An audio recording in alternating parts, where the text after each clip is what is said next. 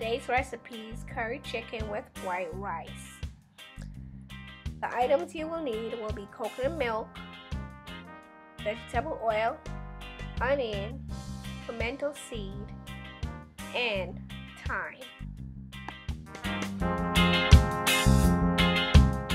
You will also need pre-seasoned curry chicken.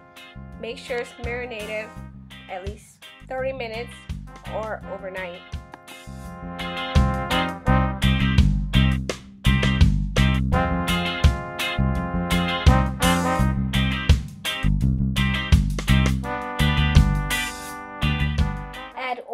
Your pot, let it heat through, then go ahead and add your pimento seed and thyme.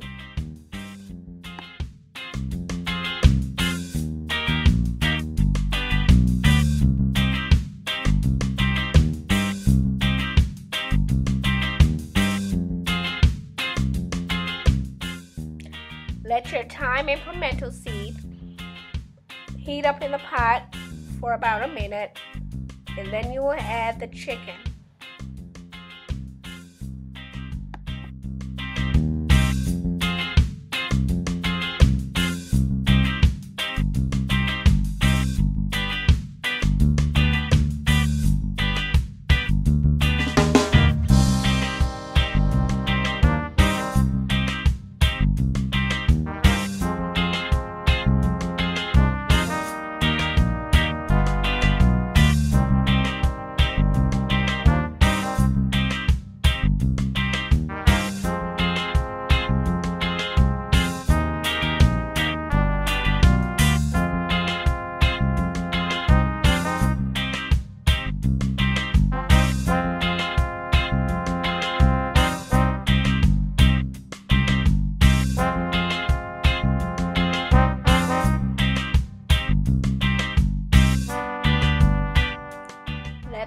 Simmer for a while. And then you could go ahead and add your coconut milk and let it simmer for about a half an hour to 45 minutes since it's just chicken breast.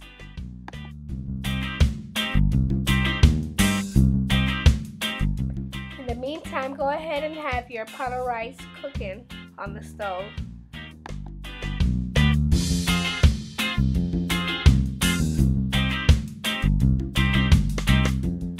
Once your rice and chicken are done, go ahead and enjoy.